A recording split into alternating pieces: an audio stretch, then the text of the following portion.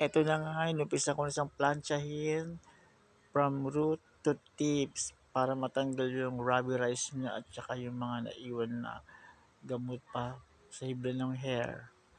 Mm, Dahan-dahan lang, manipis na manipis.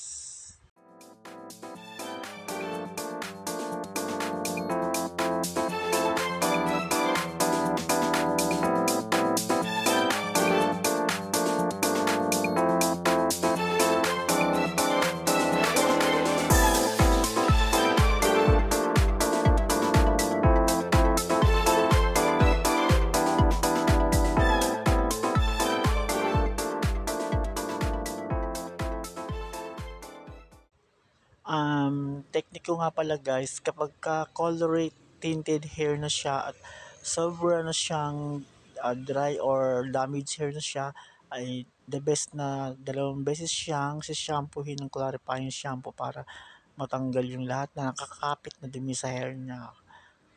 And then, bago siya lagyan ng Brazilian blowout treatment. Ah, nga pala, binlower ko muna siya ng ah, 100% na, hindi siya 100% na dry, pero tuyo lang siya ng konti na konting basa-basa lang siya. Hindi siya totally dry sa pagka-blower para sipsipin ng hair niya yung Botox Brazilian na gamot.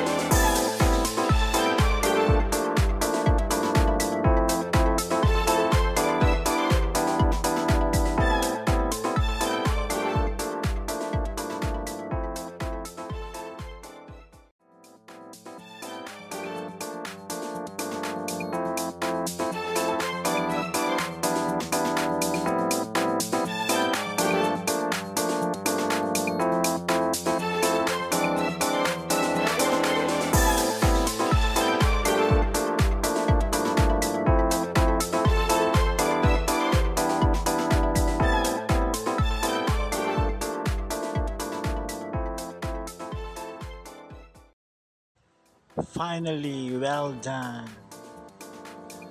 After 2 hours of ironing, well done na rin sa wakas.